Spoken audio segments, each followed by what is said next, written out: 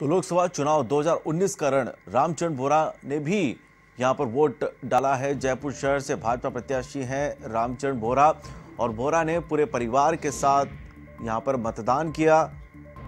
ये आप तस्वीरें देख रहे हैं। जयपुर शहर से बीजेपी प्रत्याशी रामचरण बोरा की बीजेपी से प्रत्याशी हैं और उन्होंने वोट डाला अपने पूरे परिवार के साथ और लोगों से उन्होंने अपील भी की कि ज़्यादा से ज़्यादा संख्या में अपने मतदान का प्रयोग वे ज़रूर करें। तो कांग्रेस और बीजेपी के जो प्रत्याशी हैं, उन्होंने अपने अपने परिवार के साथ वोट डाला और लोगों से उन्होंने यहाँ पर यही अपील की है कि वे अपना कीमती वोट ज़रूर डालें।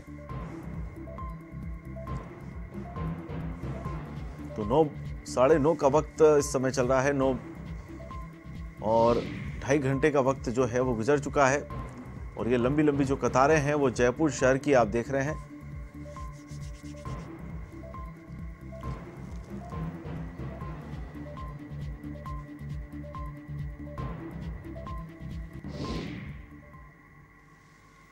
लोकसभा चुनाव के दूसरे चरण का मतदान यहाँ पर शुरू हो चुका है। इस वक्त हम मौजूद हैं राजधानी जयपुर के दुर्गापुरा स्थित बूथ संख्या 124 पर, जहाँ पर मतदाताओं की सुबह पहले कतारें लग चुकी है। आप देख रहे हैं किस प्रकार का नज़ारा है, क्योंकि सुबह लोग जिस प्रकार से सुबह सुबह कतारें लगी हुई है लंबी मतदान का, जिस प्रकार से महत्व आप देख रहे हैं कि महज अभी आधा घंटा शुरू हुआ है और मतदान का, लेकिन यहाँ पर लोगों की भीड़ देखने को मिल रही है। यहाँ पर हम कुछ लोगों से बात करेंगे किस प्रकार से भीड़ यहाँ पर लगी हुई है। मतदान के लिए महिलाओं में भी काफ़ी उत्साह देखने को मिल रहा है। मैडम आप यहाँ वोट करने आए किन मुद्दों को देखते हुए मतदान मुद्दे तो बहुत सारे हैं।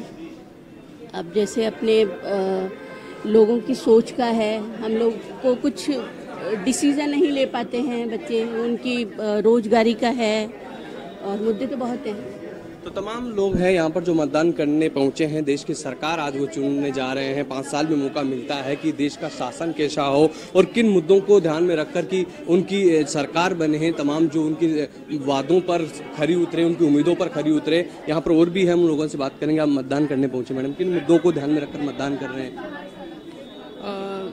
मोदी जी को लाना है सबसे पहली बात तो। इसीलिए मैं सबसे पहले आई हूँ यहाँ पे वोट देने के लिए।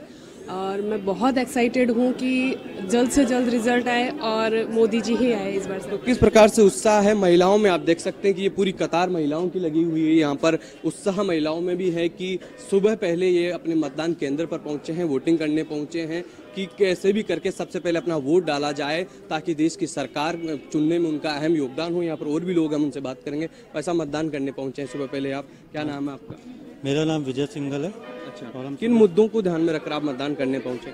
देश की सुरक्षा और सरहदी के लिए हम वोट करने पहुँचे।